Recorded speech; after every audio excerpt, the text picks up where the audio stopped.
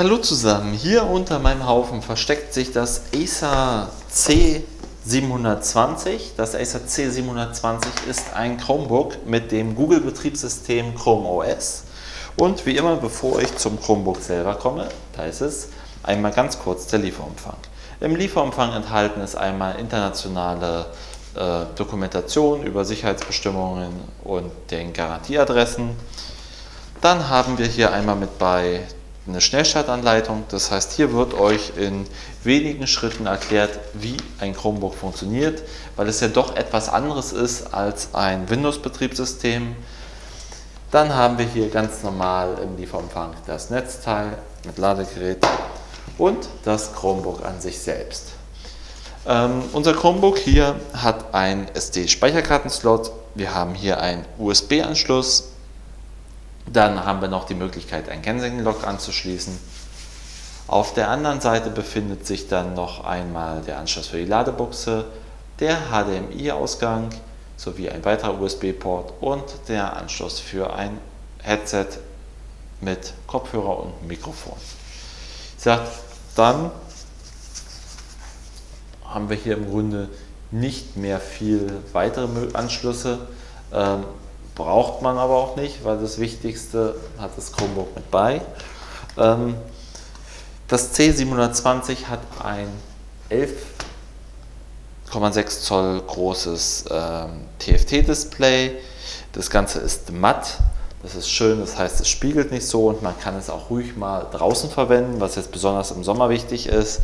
Ähm, wir haben einen Intel Celeron Prozessor mit 2x1,4 GHz.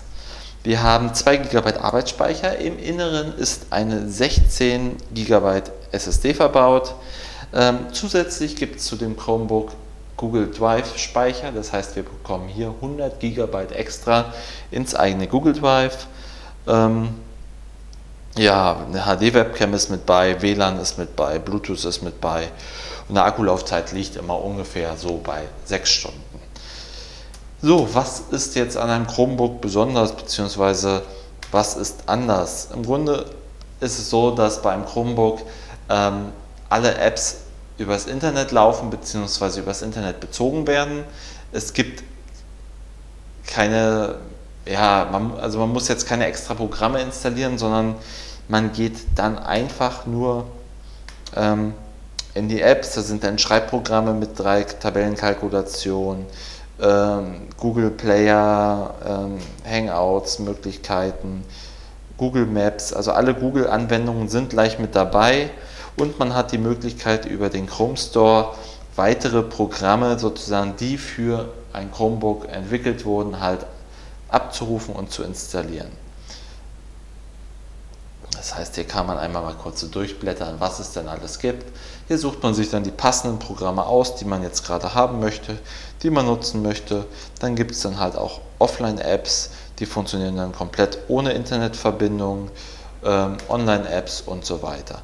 Beim Chromebook selbst ist natürlich auch noch zu sagen, alles was hier installiert ist, also Schreibprogramme, ähm, zum Beispiel, kann man auch offline nutzen. Das heißt, man ist hier nicht auf eine Internetanbindung angewiesen, sondern man kann unterwegs problemlos Dokumente schreiben, bearbeiten und kann sie dann, wenn man zu Hause ist, ganz bequem einfach wieder dann übers Internet versenden, beziehungsweise dann auch in seinem Google Drive speichern. Ja, so viel dazu vom Acer C720 Chromebook. Ich hoffe, es hat euch gefallen und bis zum nächsten Mal.